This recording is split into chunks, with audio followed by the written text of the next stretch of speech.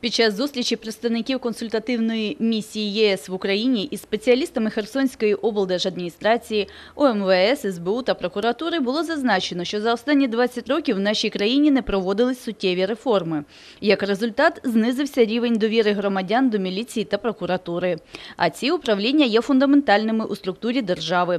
Тож представники місії ЄС, а це 28 країн, мають намір досконало вивчити ситуацію у секторі цивільної безпеки і насамперед зрозуміти потреби в регіонах України. Адже слабкі позиції в цьому якраз і сприяли анексії Криму і початку військових дій на Донбасі і Луганщині. Херсонщина межує із анексованим Кримом, тому особлива увага представників місії до цивільної безпеки в нашій області. За словами голови делегації пана Кальмана Міжея, європейські країни не визнають анексію Криму, вважають Автономну Республіку Українською і впевнені, що це міжнародне визнання переможе. Коли відбулися акти агресії, спочатку на Кримському півострові, а потім на Сході, уряд України звернувся до Євросоюзу за допомогою.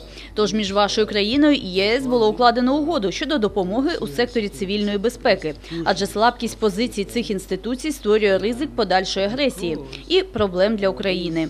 Тож мета нашої місії у наданні підтримки у секторі правосуддя і правопорядку. Консультативна місія будувалась поетапно і зараз налічує понад 170 спеціалістів. Це одна з найбільших місій в Україні за всю історію.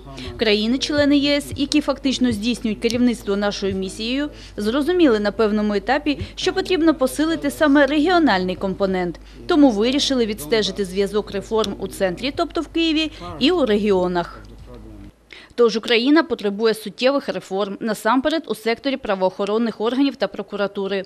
Представники консультативної місії, спираючись на європейський досвід і стандарти, зараз вивчають недоліки і успіхи української системи, аби надати нашій владі стратегічні рекомендації щодо проведення реформ. При цьому головним в центрі уваги фахівців консультативної місії є громадяни та їх цивільний спокій. Тож низка реформ має бути спрямована на повернення довіри населення до міліції і прокуратури. Коли поліція і інші органи влади обговорюють питання реформ, то в центрі нашої уваги люди. І коли ми говоримо про надання рекомендацій, консультацій, то покладаємось на ваших співробітників, наших колег, адже вони краще за нас знають ситуацію на місцях і можуть надати нам інформацію, аби ми, враховуючи власний досвід, змогли щось конкретне запропонувати. На базі досвіду робочих зустрічей з колегами в різних регіонах ми вже змогли визначити існуючі потреби і проблеми. Головна мета повернути довіру громадян до правозахисних інституцій. Якщо звичайний громадянин звертається за допомогою поліцію, то він має бути впевнений, що ця допомога прийде.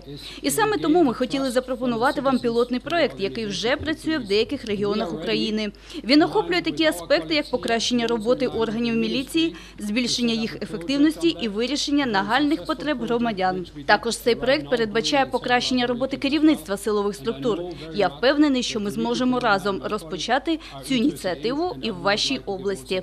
З боку представників УМВС, СБУ та прокуратури було зазначено, що деякі реформи вже впроваджуються.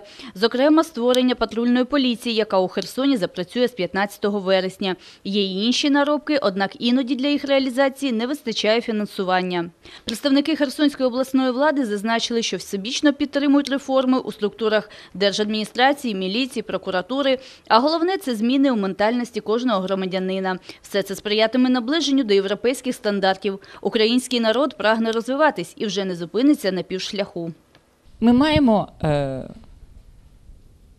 в особі цієї місії саме хорошого наставника, які пройшли хороший шлях, які мають те, до чого ми тільки йдемо.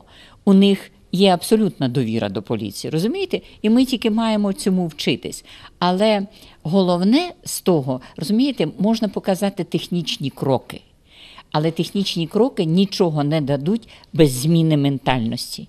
Консультативна місія Євросоюзу була направлена в Україну заради загальної безпеки, адже наша держава межує з Європою і є ключовою фігурою у східному партнерстві.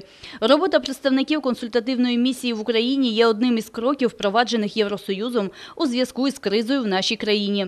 Однак, як зазначив голова делегації пан Кальман Міжей, лише разом об'єднавши європейські стандарти та успішні наробки в українських державних структурах, реальним є вихід із кризи.